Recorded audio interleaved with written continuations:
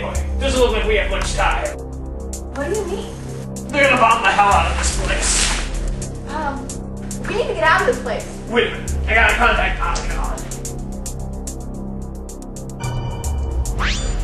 Thank you to me. It looks like you like you stopped Rex. Otacon, good news, Meryl's okay. All right, you saved her, man. Good job. I got some bad news too. We're about to be bombed. Oh boy, I guess we're considered expendable. Is there a way out of here? You see, there is. You see that big door behind you? Well, it leads outside. It's the loading bay for Rex's parts. I'll get it open for you. What will you do? Me? I'll stay here. Are you crazy? If you get away from me, you'll never make it. Oh, Otacon, I'm a complete person now. I found a reason to live. good. Don't die on me. Good luck to you, too. Thanks, Otacon.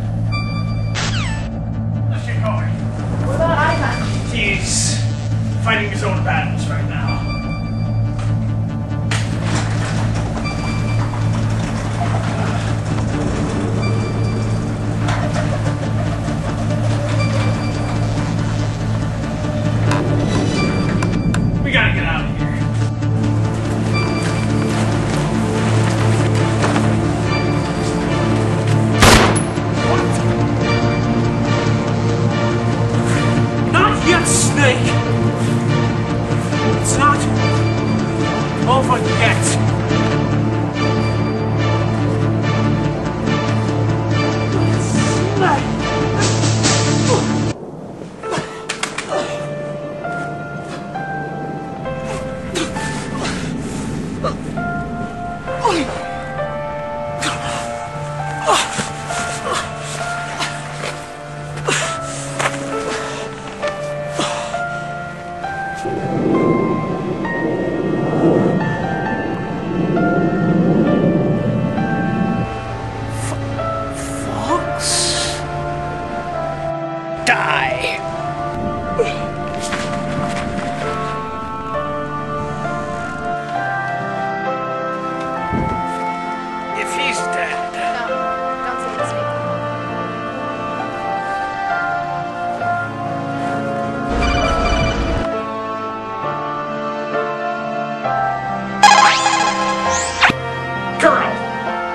You can rest easy.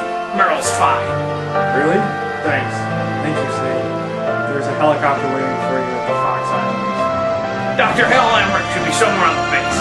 I want someone to bring him in. I understand. Leave it to me. Roy, just tell me one thing. What? About FOXDIE. Naomi said she wanted to talk to you face to face oh, about that. I'm switching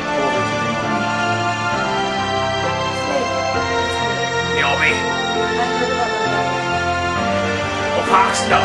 Frank wanted to tell you something. He told me to tell you to forget about him, to go on with your own life. He also said that he'll always love you. Yo, Liquid died from FOXDIE too. What about me? When am I gonna go?